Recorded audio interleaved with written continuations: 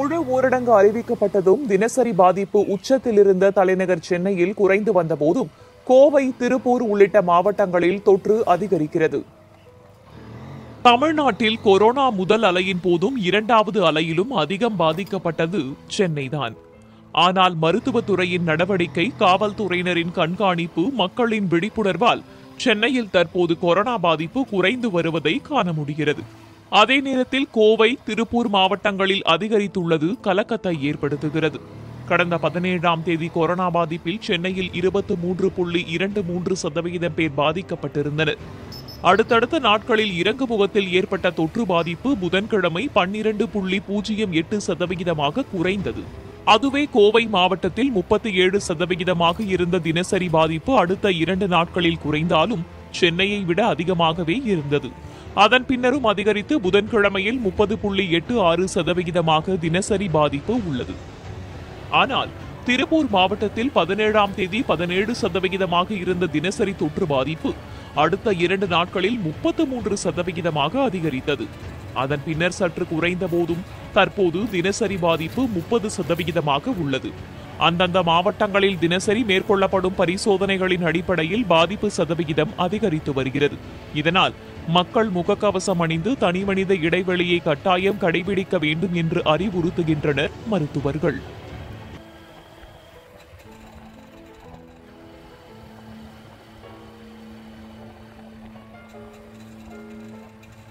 கோவை திருப்பூர் மதுரை திருச்சி சேலம் மற்றும் ஈரோடு மாவட்டங்களில் இத்தொற்றின் தாக்கம் போதிய அளவு கட்டுப்படுத்த முடியாத ஒரு சூழ்நிலையே காணப்படுகிறது. இந்த மாவட்டங்களின் தொற்றினை கட்டுப்படுத்தவும் இறப்புகளை குறைக்கவும் தேவையான நடவடிக்கைகளை உடனடியாக மேற்கொள்வது குறித்து உங்களுடைய கருத்துக்களை கேட்கவும் அது குறித்து ஆலோசனை செய்திடவும் இந்த ஆய்வுக் கூட்டத்தை இப்போ நம்ம கூட்டியிருக்கிறோம். இன்று ஆய்வு செய்யப்படக்கூடிய ஆறு மாவட்டங்களை பொறுத்த வரைக்கும் அரசு துறையிலும் தனியார் துறையிலும் ஒரு மிக சிறந்த மருத்துவ கட்டமைப்பை கொண்டிருக்கக்கூடிய மாவட்டங்களாக இருக்கு.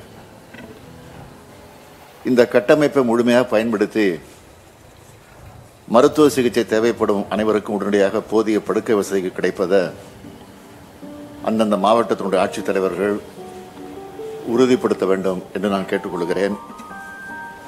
நோய் தொற்றை கண்டறிவதற்கான ஆர்டிபிசிஆர் பரிசோதனை எண்ணிக்கை இந்த மாவட்டங்களில் உயர்த்தப்பட்ட போதிலும் நோய் பரவல் அதிகமாக இருக்கக்கூடிய அந்த பகுதிகளை கண்காணித்து அந்த பகுதிகளில் போதிய பரிசோதனைகளை மேற்கொள்ளப்பட்டு நோய் தொற்று உள்ள அனைவரும் கண்டறியப்பட்டு தனிமைப்படுத்தப்பட வேண்டும். தடுப்பூசி போடக்கூடிய பணியை பொறுத்த வரைக்கும் கோவை மற்றும் சேலம் மாவட்டங்களில் அதிக அளவில் தடுப்பூசி போடப்பட்டிருக்கிறது.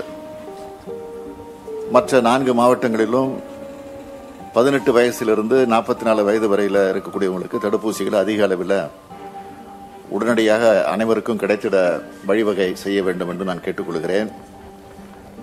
ரெண்டாம் அலையின் இந்த கட்டத்தில் நோய் பரவல் கிராம பகுதிகளில் அதிகம் காணப்படுவதை கருத்தில் கொண்டு நோய் கட்டுப்பாட்டு பகுதிகளிலிருந்து பிற பகுதிகளுக்கு நோய் பரவாமல் தடுத்திட வேண்டும்.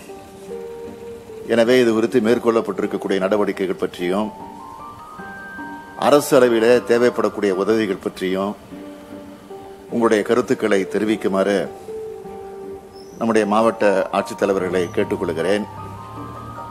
கொரோனாவினுடைய இரண்டாவது அலையின் தாக்கத்தை நமது மாநிலம் கட்டுப்படுத்துவதற்கு இந்த ஆறு மாவட்டங்களில் நாம் மேற்கொள்ளும் நடவடிக்கைகள் வெற்றி அடைவது அவசியம் என்பதை மனதில் கொண்டு அடுத்த ஓரிரு வாரங்களுக்கு அனைத்து முயற்சிகளும் முனைப்போடு சம்பந்தப்பட்டிருக்கக்கூடிய மாவட்ட ஆட்சித்தலைவர்கள் மேற்கொள்ள வேண்டும் என்றும் நான் கேட்டுக்கொண்டு உங்களுடைய கருத்துக்களை எடுத்து வைக்கும்படி கேட்டு என் முன்னுரையை நிறைவு செய்கிறேன்.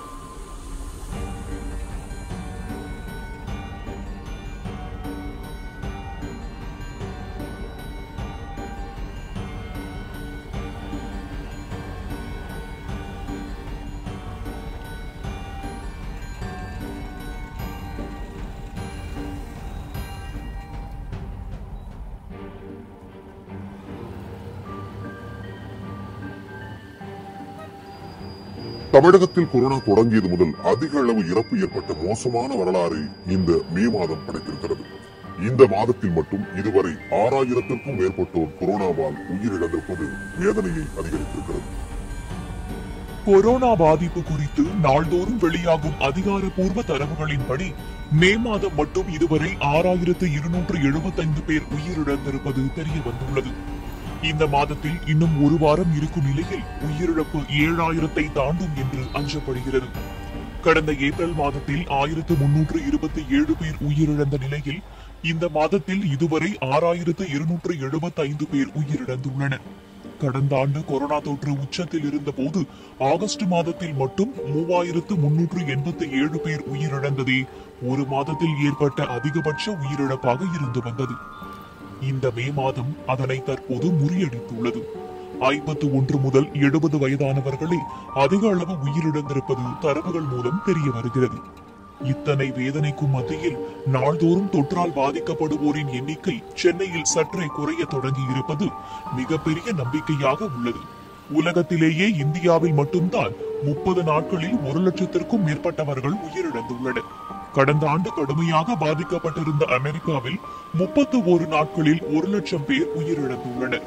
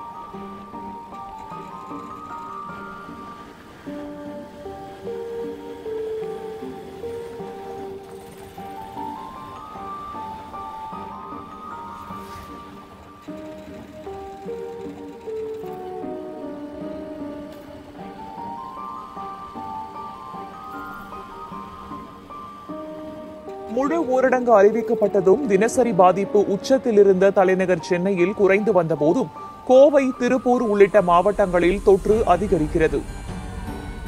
தமிழ்நாட்டில் கொரோனா முதல் அலையின் போதும் இரண்டாவது அலையிலும் அதிகம் பாதிக்கப்பட்டது சென்னைதான்.